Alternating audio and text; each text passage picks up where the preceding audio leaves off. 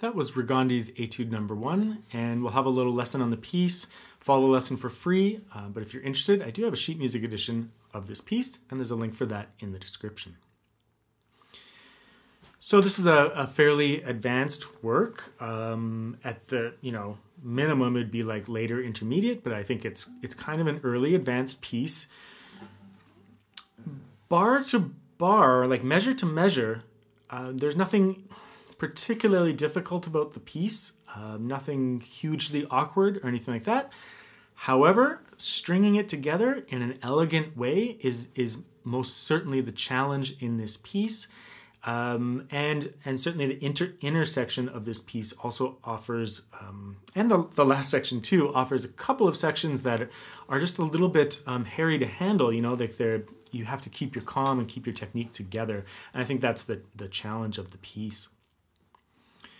Like the first etude of many um, etude collections, I, I, think this one has um, a lot of different musical elements that we're working on.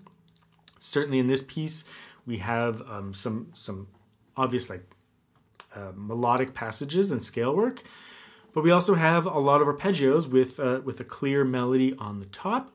So uh, keeping all of that straight and presenting it in, in, in a clear way, but also in, for Regondi, maybe more than other composers, in an elegant and and um, and tasteful way. So for my edition, um, I'm really going for like a performance edition. I've changed a couple of the slurs to to make it more consistent, where I thought it's motivically consistent. Um, I had access to one of the manuscripts, but not all of them. There's like four of them for this one, so there's lots of variables, but it's a pretty established piece as well. So um, you know, I've heard it so much that that influences me, of course. But there's a couple of things that I that I did mark in for consistency and just changed a couple of things. All the notes I, I pretty much kept the same though. Let's just first talk about some some basic goals, and then we'll we'll do a little bit of a walkthrough. But uh, you know, there's so much to go over, and it's a fairly advanced piece, so I don't think going measure by measure is necessarily uh, is, is, necessary. Uh, make sure that you've practiced um, other works before attempting these ones. You know, the Carcassi etudes would be great preparation for this. Um, and and then also getting in some of the romantic spirits, so maybe some Mertz and things like that um, might help as well. But also, you know, the Sor's studies too, like a lot of the legato aspects of this piece uh, match Sor more than a lot of composers probably. Um, so, you know, in the first section, you have a lot of these like silky lines, and we don't want to be too blunt with them. We want them to have some freedom.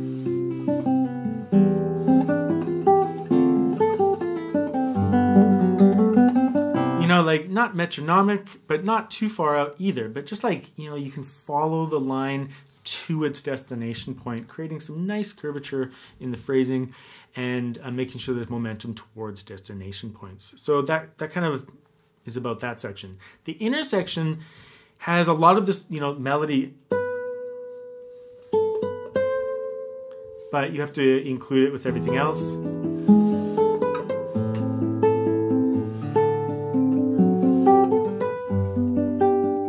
So just making sure that melody pops out and keeping the texture clear, the accompaniment relatively soft and suppressed. Um, and then focusing on your legato, just it, it makes it quite the musical challenge. And there's a couple of shifts that are, are tricky. Not so tricky that they're impossible to play or anything like that, but again, tricky to maintain that beautiful legato while um, accomplishing all of the shapes. So it's it's that kind of piece where um, the it's I would say it's half musical challenge. It's not just technique, it's a lot of musicality challenge in this particular work. I think that's about that's about it though. I think we'll do a walkthrough of the piece. I can explain a couple of things that I do, but in general, I'm going to go through it fairly quickly because I think you at this stage of a work, you should have worked your way up to this level um, so that you're you're relatively ready for it.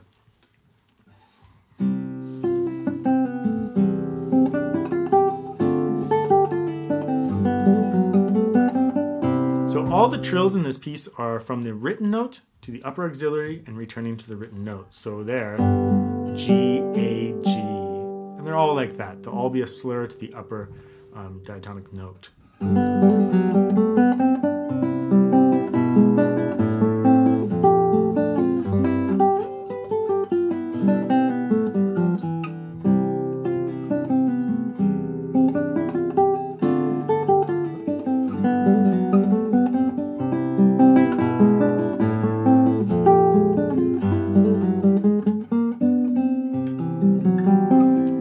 Talk about in that section.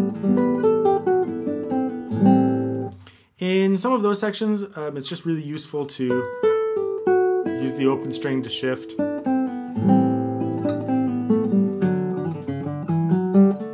Same thing there, right?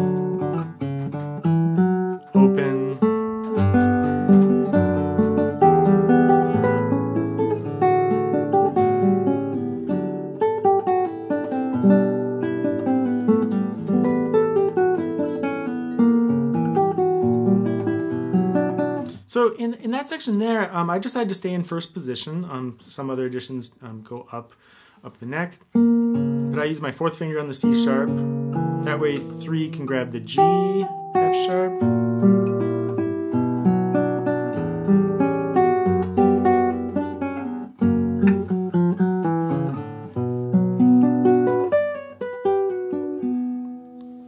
I really like moving up to the, the, the bar at the seventh fret um, right after that open D.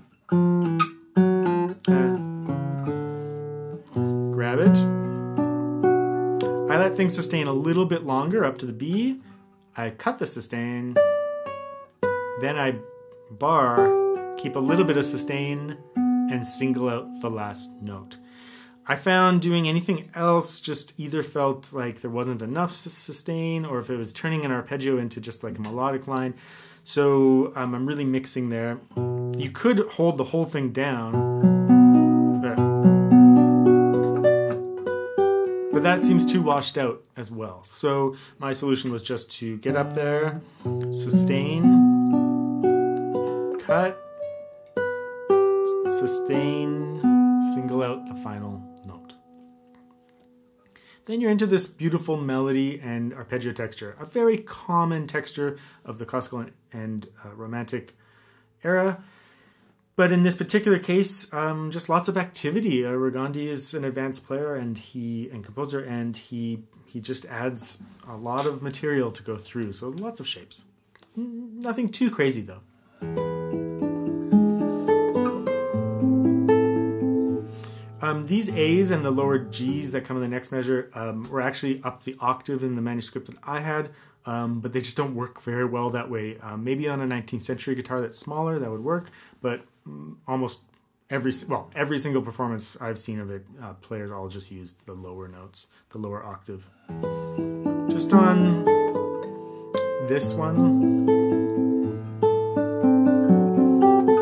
and this G.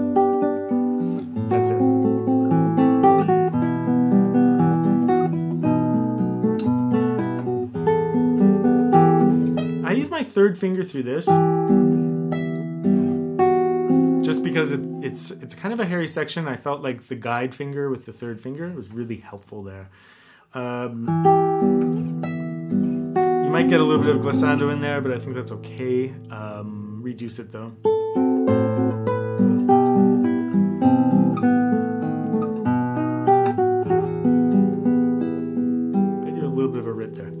Uh, that section there is it's a little bit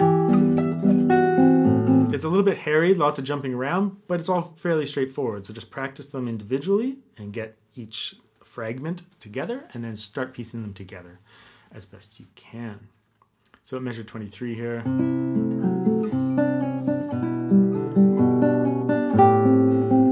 This is probably the hardest part of the piece in some ways.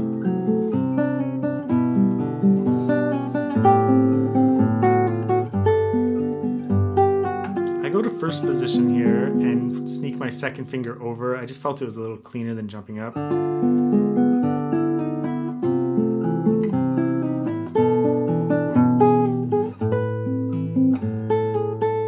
I changed some of the slur patterns in that section there for consistency.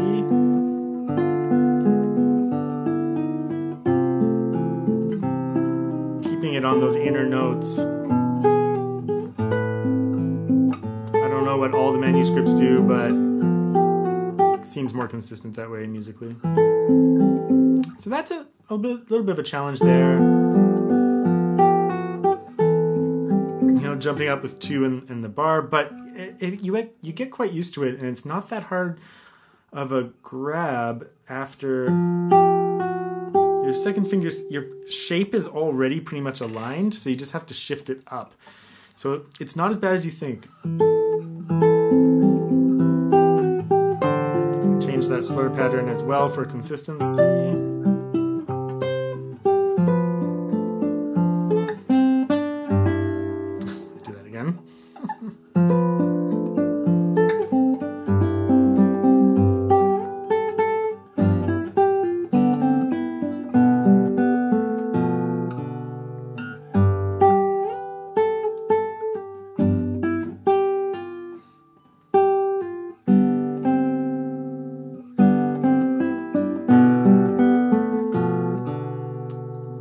Sections, uh, that's not that hard, that section, um, but it throws me. Sometimes it's at the very end of the section. I'm starting to get mentally and physically fatigued a little bit, and doing all these glissandos and jumping around can be tricky.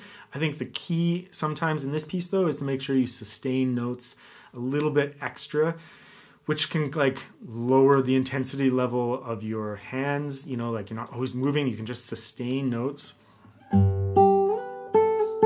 know making sure you really get that note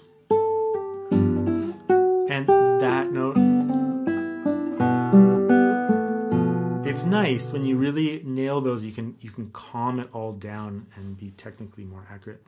So then it returns to the first section, but it'll change soon.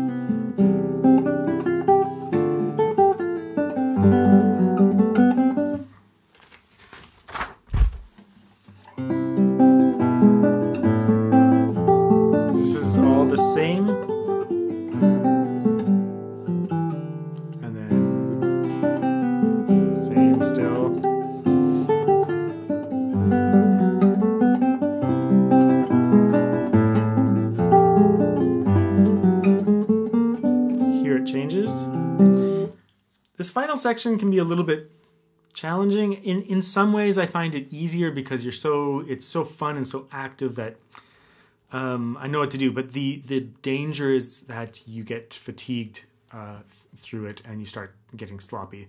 So again, I think sustaining um, some of the chords, not extra, but just for their full value, kind of like a sostenuto mark on them, uh, is really really calms things down, but doesn't change the tempo or anything like that. These chords, make sure you sustain, have some fun sustain, have some fun. In those sections, I do a, a bar early. I change the slur pattern for consistency.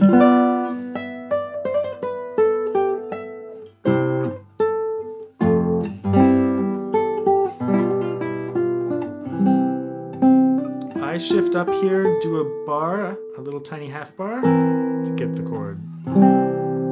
That's into 45.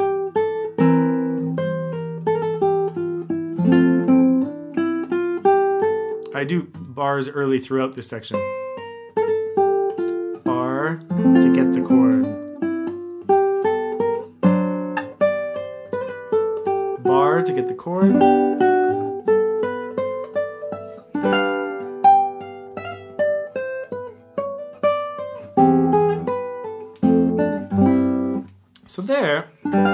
Stay in upper position.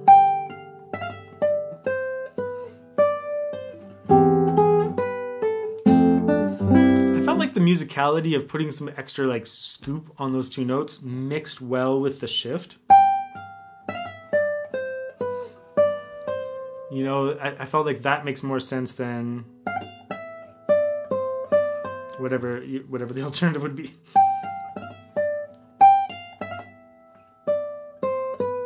Instead of that,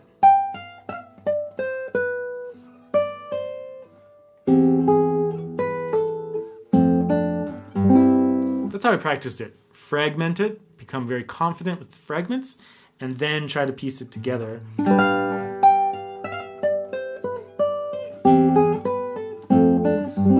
That's certainly the most difficult uh, measure there is that it, it's just it's a lot of shifting a lot of accuracy involved lots of opportunities for squeaking.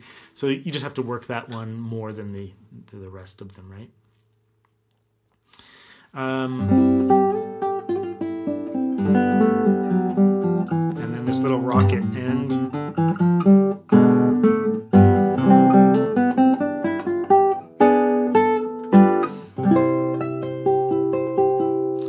here, open.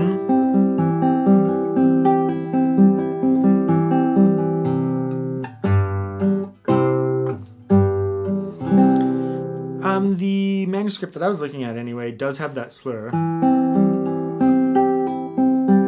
And certainly that allows you to stay in position.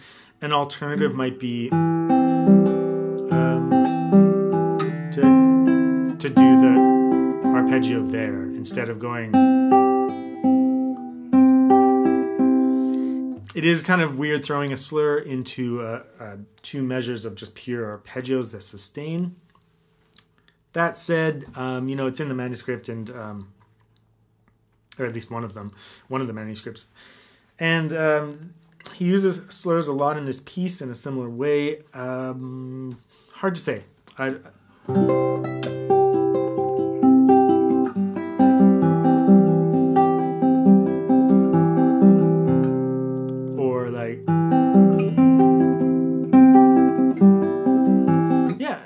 that hard to jump up.